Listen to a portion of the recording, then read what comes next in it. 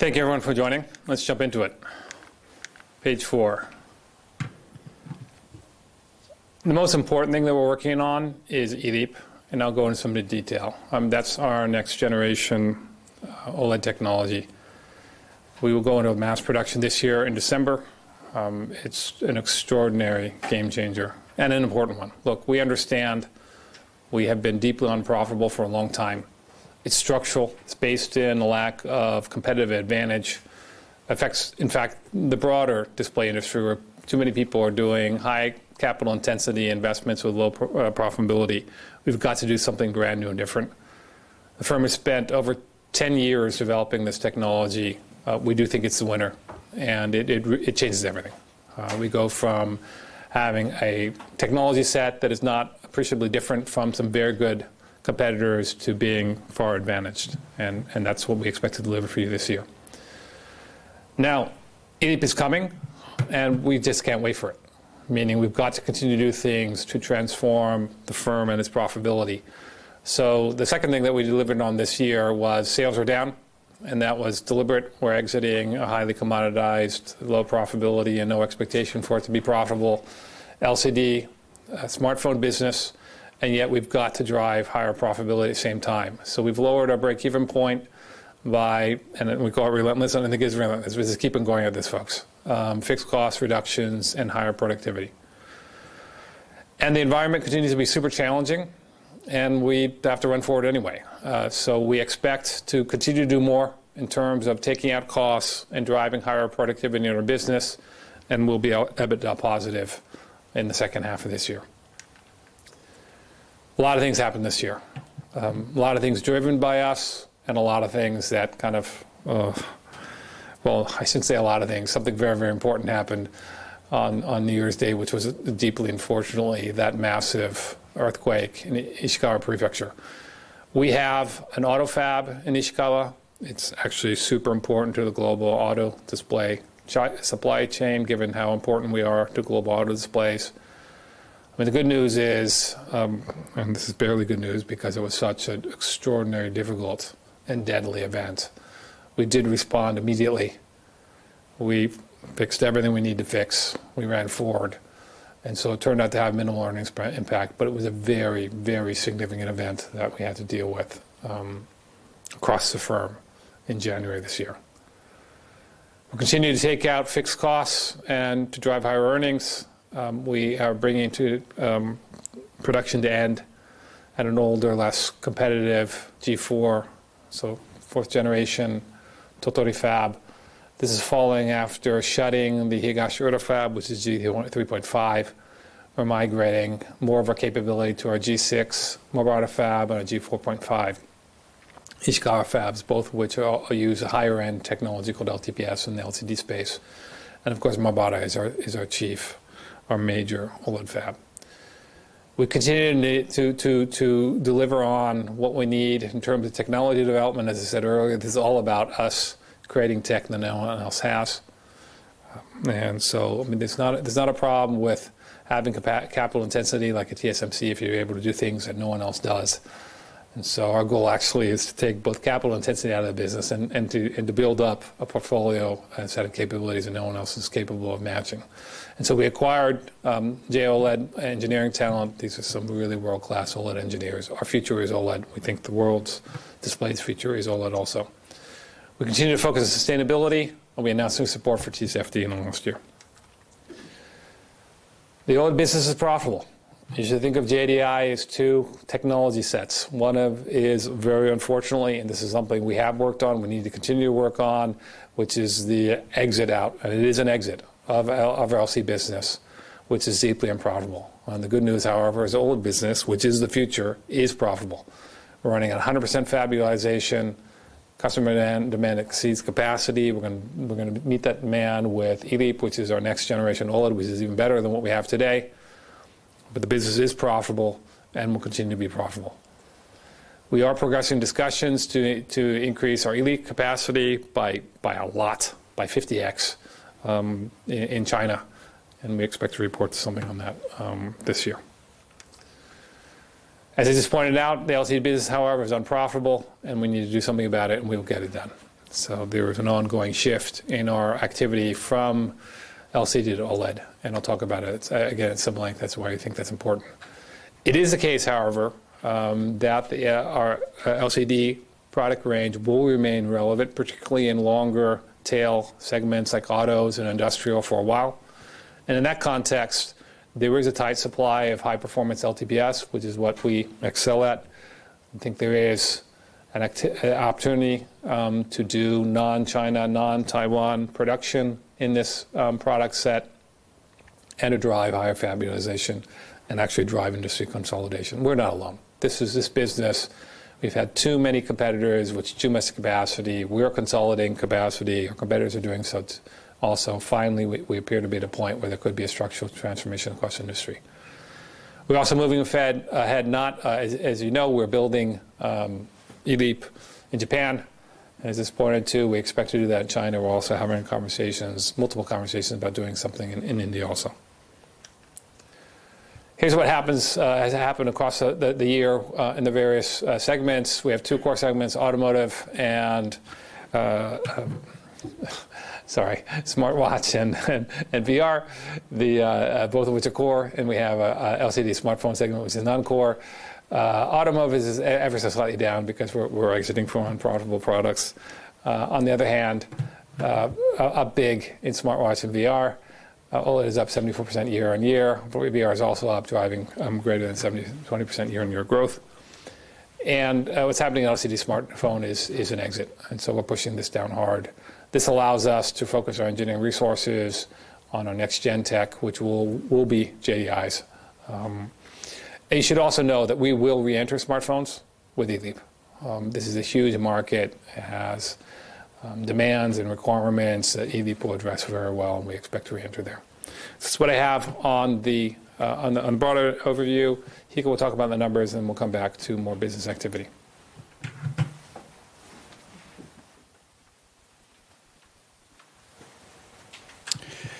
All right. I'm going to talk about um, the earnings results for the 2023 fiscal year, which was last year. And I'm going to follow on talking about the forecast for the 2024 fiscal year, which is the current year that we're in right now.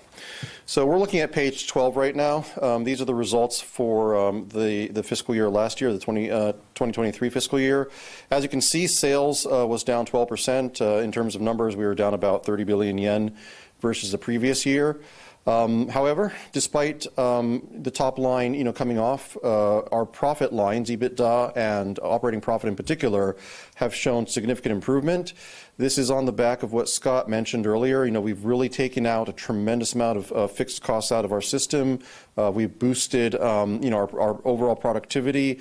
We've worked hard at lowering our break-even and That's really what's allowed us to improve on our profit lines despite you know, the decline in our top line um, in our top line sales. Net income is came in at 44.3 billion yen loss. Um, sort of year-on-year comparison, uh, that's a a, you know a worsening of about 18.5 billion yen versus the previous year. On a normalized basis, we're actually doing better. If you recall from last year, we reported two um, significant one-off extraordinary gains last year. One of them was a 15 billion yen uh, you know uh, gain from the forgiveness of debt. And the other one was a 13.5 billion yen gain from the sale of a former subsidiary. So um, you know, if you actually normalize for those two one-off events, we're actually slightly better than we were last year. So that you know, means all of our profit lines, starting from operating profit down to net income, including EBITDA, are actually better than they were last year. I'm going to be focusing mostly on full year-to-year comparisons. So this slide here in 13 actually talks about the standalone fourth quarter and its comparison versus to the standalone quarter, uh, fourth quarter of the previous year. So I'm going to be skipping the quarter-on-quarter slides and focusing on the year-on-year comparison slides, which takes us to slide 14. Uh, this breaks down our top line sales into our normal categories of core businesses, which is our automotive and smartwatch VR, as well as the non-core businesses, which is our LCD smartphone. As Scott mentioned earlier, um, you know, smartphone, uh, the LCD smartphone business is down as expected as we're working towards exiting that. And the core businesses overall are up very strong. Core businesses as a whole are up 6% year-on-year. Mostly driven this year by smartwatch VR, which saw you know extraordinary growth, especially in OLED. As, as you see there, uh, our OLED business was up 74% year on year, so tremendous top line growth there. And our automotive business was down, you know, ever so slightly, pretty much only, uh, you know, on the back of us um, exiting specific unprofitable products and lines within our automotive business. Again, I'm going to sl uh, skip slide 15, which is uh, talks about the standalone fourth quarter comparison versus the previous year, and go to slide 16, which now takes a deeper look at the change in operating profit from um, a year earlier, the 22, uh, 2022 fiscal year, um, into the year that just ended, the 2023 fiscal year. So as you see, uh, we've significantly shrunk our operating loss uh, down from 44.4 billion in fiscal 22 down to 34.1 billion um, in fiscal 23. Uh, you, what you see in front of you is are the sort of the the attribution of how uh, we, we achieved that. The biggest um, sort of contributor there was, as you see, fixed costs. We, uh, the closure of the Higashiura fab, uh, as well as just you know streamlining our production at our flagship Mobara fab, is really what contributed to that. You see in the mixed line there how OLED is actually starting starting to contribute um, to our overall profitability as we take down our less profitable LCD smartphone business, and also as we exit some of the unprofitable automotive lines, you're seeing a greater weighting of the more profitable OLED business coming into play. So what you see there in terms of that 2.7 uh, positive contribution from mix is really sort of that relative weighting of our of our profitable OLED uh, business coming in there. And then finally, in the other line, that 4.5 billion uplift right there is is a fall off of a fairly significant inventory valuation loss that, that we reported in the fiscal 22 year, which fell off um, into the fiscal 23 year. Again, uh, this slide here in 17 talks about the standalone quarter comparison, so I'm going to skip this, which takes us into the forecast now for the current year, the year that ends in uh, March 2025, what we call the fiscal 24 uh, year. This is it. This is a slide 19 shows our forecast for the year. We're looking, if you look at the far right, we're forecasting top line sales of 222 billion yen for the year. That's a, about a 17 billion yen decrease uh, versus last year. If you take a deeper look at the, sort of the segment breakdown of that top line sales, you'll see that we continue to shrink our LCD smartphone business. That's the single largest contributor of the fall in sales, and that's only to be expected as we continue to shrink and eventually exit over the medium to long term the LCD smartphone business. Automotive is effectively flat. Um, we're get, uh, taking care of a few remaining lines um, of unprofitable products and, uh, and, businesses. So as we shrink that, uh, you see automotive coming in flat, and most importantly, you know, our core, you know, growth business, uh, you know, the smartwatch and VR uh, continues to grow strongly, uh, you know, following following on from the strong growth that we had last year. I think importantly here is the fact that you know we're forecasting 11, an 11.7 billion yen um, loss for the EBITDA line for the for the EBITDA line for the entire year.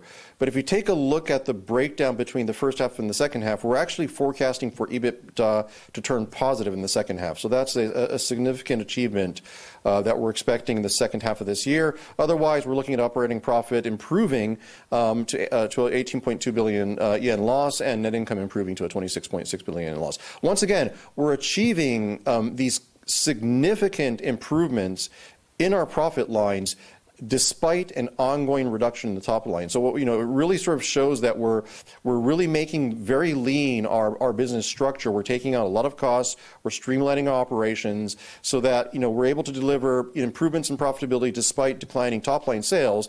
And as we continue to you know expand the business, new businesses like eLeap come into play, and the top line turns to growth, then you know we're going to get significant operating leverage um, in our profit lines in the future. Uh, the final slide here is slide, uh, slide 20. Uh, this talks to the uh, attribution of how we're going to be improving our operating profit line from the 30, 40, 34.1 billion loss last year to our 18.2 billion forecast this year. And as you see, the single largest contribution is that mix line right there. It's, it calls for an 11.2 billion uplift. The uh, primary drivers of that continues to be OLED. So as we take down, as we continue to take down our LCD smartphone weighting and a little bit of our unprofitable automotive lines, and we continue to grow the OLED, it's just that relative weighting of the more profitable OLED business kicking in in the mix there. The other thing you see there is, you know, as a follow-on from last year, we're expecting uh, to deliver some licensing income from our eLeap and HMO businesses in the second half. So that's uh, the, the single largest contributor uh, in terms of the uplift. And then also what you see on the other line is that we continue uh, we will continue to see a little bit of fall off of some inventory valuation losses versus last year, but we're also going to you know, affect much tighter inventory control, um, and we're going to streamline operations. That's going to be another big part of how we improve um, operating profit uh, for this year. I guess I'm sorry. This is the last slide here, 21.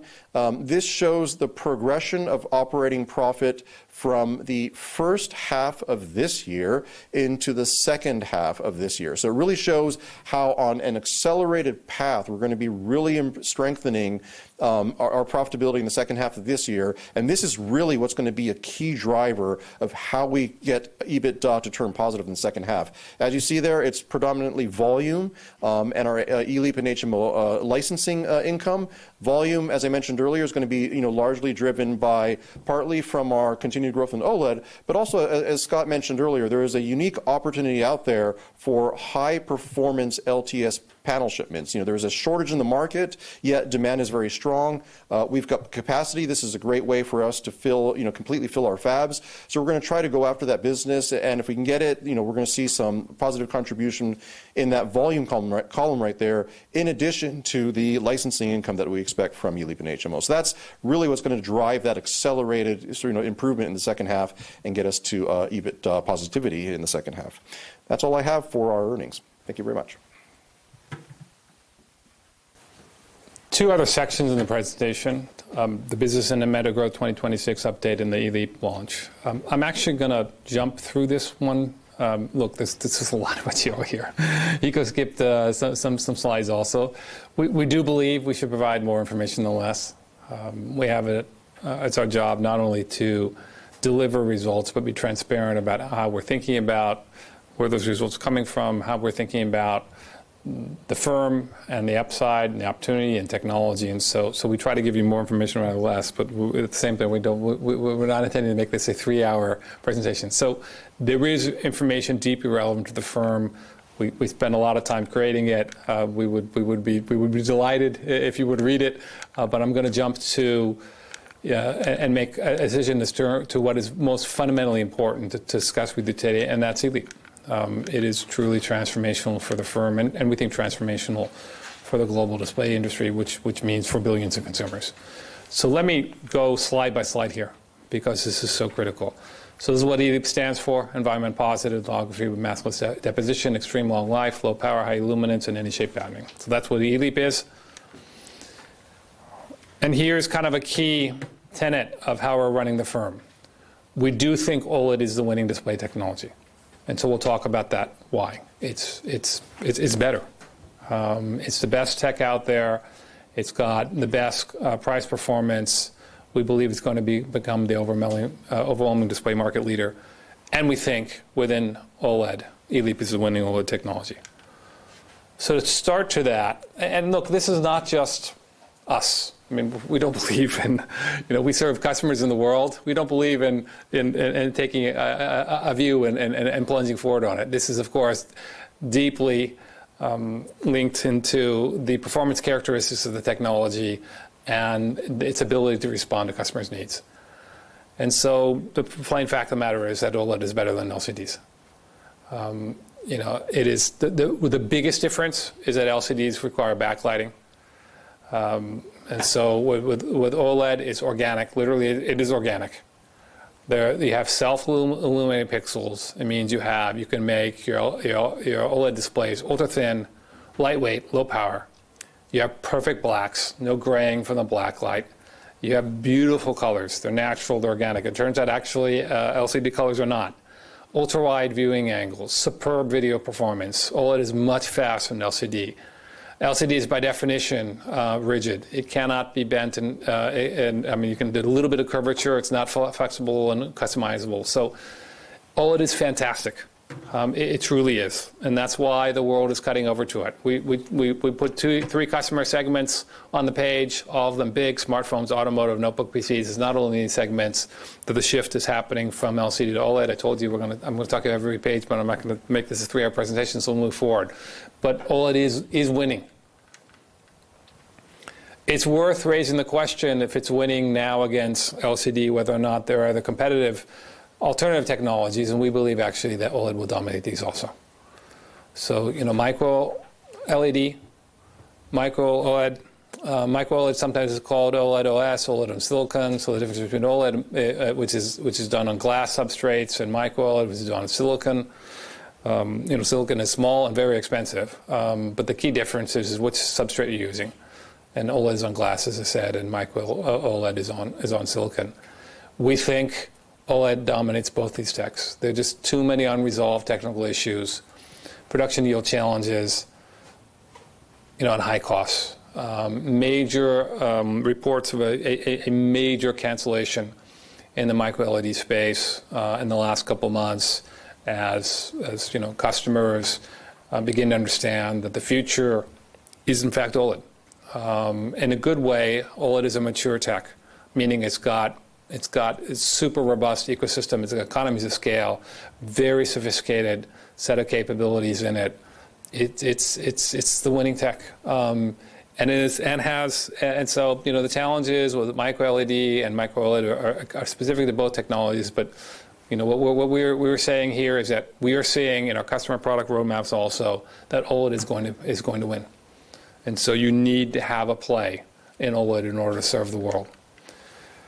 You know, I think we get the impression that people think OLED is really kind of out there. Um, and it is because you know uh, uh, half of smartphones are using OLED and, and all the time, and um, uh, smartphones are. Um, and there's been, and by the way, penetration in the smartphone market is going year after year. But one should not be misled by half, 50% uh, market share in smartphones. OLED is almost nowhere right now in autos and, and, and notebook PCs, and it's getting specced in. So there's a massive growth upside in this market as OLED takes over. And that's why uh, ELEAP's important. It's important to us and it's important to the world. It is the case that OLED does have some inherent issues. One of them is short lifetime, and the other one's high production costs. And ELEAP uh, allows you to solve for both. And so it's, it's, a, it's a deeply advantaged form of OLED. Uh, it's an evolved form of OLED, if you want to put it that way it powerfully moves the look forward. I would want to spend a lot of time on this slide, but I guess I won't. Um, you know, the thing you should know is that what is distinguishing about ELEAP from a production um, perspective is that we don't use so-called metal masks. We don't use masks. And the result of that is you have these huge masks in conventional OLED with very poor precision. And so you have to have, you can't really move the mask around that well. And so you have to have big kind of, if you look at the page, you see all this black space in conventional OLED because you can't put the pixels together because there's not enough precision in moving around these big metal masks. And so in order to avoid R and G and B being on top of each other, you have to space out the pixels. What that means is you get much less brightness area. Um, by the way, we don't talk about this as much, but it also means that you can pack not only more brightness into uh, into ELEAP because we substitute for mass photolithography, so we're using the semiconductor process so we can pack the pixels together without worrying about them being on top of each other. It also means you can get much higher resolution out of ELEAP, and so there is obviously a broad customer set. I mean, customers like high resolution and, and beauty, and also particularly in the VR space where you use these big um, lenses in order to kind of make very small screens seem big. They, they cut the users understood or experienced resolution by a lot. So high resolution is something very, very important, and we think ELEAP is able to, to deliver super high resolution VR um, over time that will be important. At any rate, so you, you get super high brightness, you get long lifetime because The problem with conventional OLED is you have all this black space, so you're pushing a ton of current through kind of a, a, a, a primarily black display, and it burns up the pixels. And so by going to eLeap, you don't have the pixel burnout, and so you get lifetime, and it's nonlinear. You get actually three times the lifetime. You get lower cost from eLeap on the average, we think roughly 30% lower costs. It's primarily it's linked to not having fine metal mass and all their costs. It's not you don't have uh, fine metal mass related production downtime as you're replacing and cleaning and maintaining the fine metal mass. You get higher fab utilization. So it is you know the good news is, and this is why the technology is going to win. It's not only better, it's less expensive. It also, uh, because you're not moving these massive metal mass around, um, uh, much less energy consumptive. So, in other words, a much more energy efficient uh, production process. That means you, you, you, you actually have 50% less CO2 emissions during your production process. For a 14 inch notebook, um, the, the amount of CO2 emissions goes down to something on the order of 14 kilograms, 30 plus pounds per notebook. So this is non trivial. If you want to create a world um, and look, we, we, we, we take the we take the uh, the view. We hope we hope you join us that climate change is real, and that we should do something about that. That eLeap is a powerfully green tech that can help solve a major uh, planetary problem. The development is going very fast. We started 1.4 inch first customer samples um, in SEP of 2022. We increased the display by 58x um, uh, by mid last year.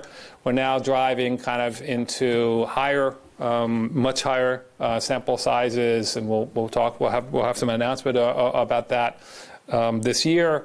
Uh, we're also driving much higher functionality out of it. We're now, for example, doing 1600 nits with a single stack, meaning, you know, there's a way to try to get higher brightness um, by doubling up um, your, uh, your OLED with a so-called tandem structure. It makes the, both the product, the manufacturing pro process more complex and, and, and makes it more expensive. So you want to have a fantastically extraordinary performance uh, display at, at, at a price point that is truly mass and affordable. Uh, eLeap is, is, is, is, is, is the solution. And so this is the year of eLeap. I mean, it's, it's been a long time coming. We have worked on this technology for over 10 years. It's accelerated over the last couple of years. Uh, our current production yield is over 60%. Um, that is actually very good. Uh, we're not. the, the, there, are, there, are, there are companies out there that are shipping conventional OLED with only kind of yields of 20 to 30 percent. By the way, they're, they're profoundly loss, loss creating.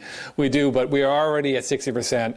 We're going to go to production launch uh, in December of this year. We actually, uh, it, it, our goal is to get uh, above 90% yield uh, by that time. It, we think it's, it's, it's very viable. But this is a technology that we're, we, you know, we're driving forward very, very fast on and we think is, is truly a game changer for the global display industry.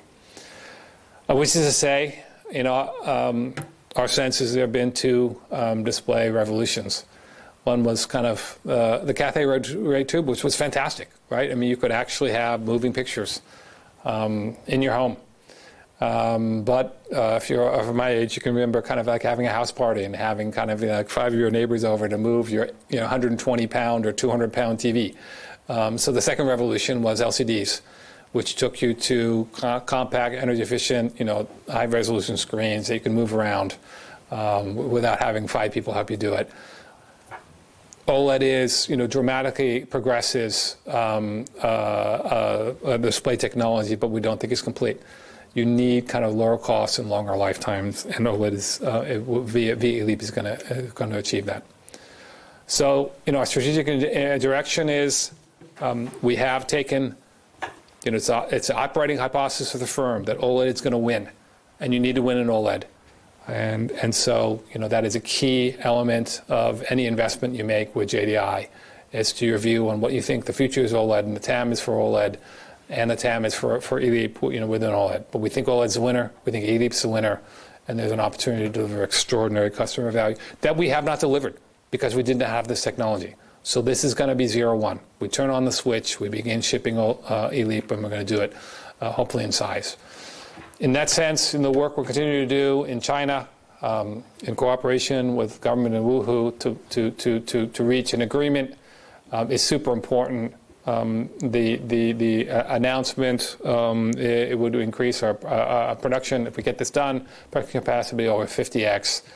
You know, this technology is very relevant, has a massive TAM. We need more of it rather than less of it. So this is a very important element of extending uh, JDI and eLeap's reach to kind of the world.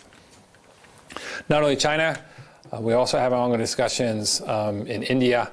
Um, we think that the, these are both deeply relevant, uh, massive and growing markets for our staff presence, and they will be and they will be an eLeap presence.